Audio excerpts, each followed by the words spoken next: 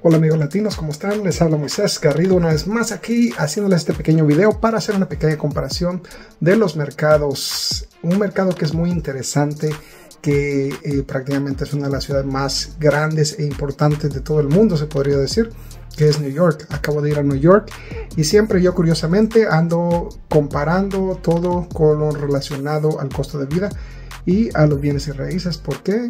Es bueno saber, para saber dónde uno está parado. Exacto. Entonces, estaba yo tratando de hacer una comparación con lo relacionado a Toronto, Windsor y New York. Windsor se mira como una pequeñita ciudad a comparación de lo que es New York. Windsor alrededor de población es aproximadamente de 400 mil, contando todos los pueblitos alrededor de el área. New York, eh, por el otro lado, eh, tiene 7.7 millones de personas en un área no es tan extremadamente pequeña, pero a comparación de lo que es eh, el área de Toronto, que es masiva, eh, es pequeña el área de New York. Entonces estaba yo comparando con Toronto y se mira similar en lo general, pero ah, hay una gran eh, diferencia de precios porque estamos ah, considerando los precios bajos de Toronto que vienen siendo alrededor de 600 mil dólares para arriba.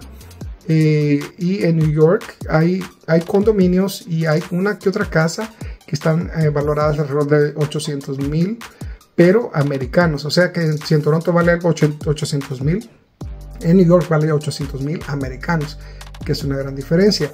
El cambio mayor que pude notar fue en los condominios. Eh, muchos de los condominios, los costos de ellos están bien altos había un condominio que tenían de venta, no se miraba muy alto de precio, eh, estaba alrededor de 400 eh, mil dólares americanos, pero el costo de mantenimiento del condominio, del pago al dueño, era de 40 mil dólares al año americanos. O sea que son miles y miles de dólares encima del pago del mortgage. A comparación de Toronto, en Toronto los costos de condominio eh, varían, claro, pero uh, muchos son alrededor de 400, 500 dólares al mes eh, y muchas veces más el costo adicional de los taxes.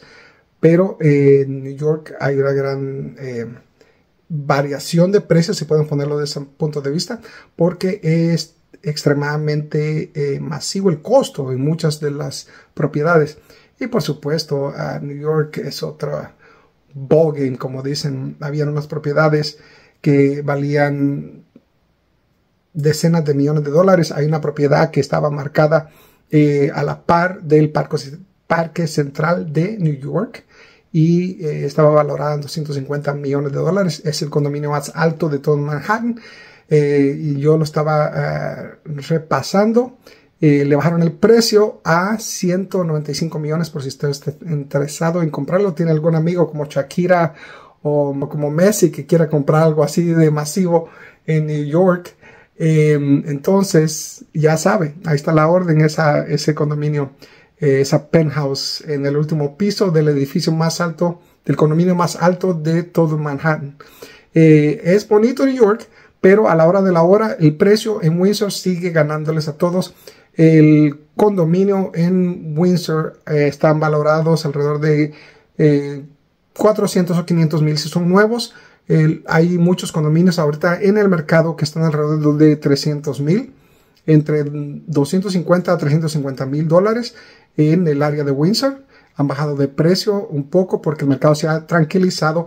El por medio de precio de casas en el área de Windsor Essex ha bajado a 571 mil 900 52 dólares, que es 0.5% que bajó. La cantidad total de ventas bajó 1.7% y la cantidad de enlistados bajó el 4%. O sea que el mercado se está estabilizando, no está mm, bajando mucho, está bajando un poquito. Ahora que el Banco de Canadá baje el interés, están ya destinando lo que lo van a bajar otra vez más, eh, a ver cómo reacciona el mercado de las casas pues muchos pensábamos de que iba a subir, pero lo que sucede es que hay muchas casas en el mercado ahorita y por consecuencia es normal de que el precio no esté subiendo porque hay bastante para escoger para el comprador. Así que ya sabe, cualquier pregunta que usted tenga, ahí estamos a la orden. Espero que hayan tenido un poco de educación de este video. Se me cuidan hasta pronto.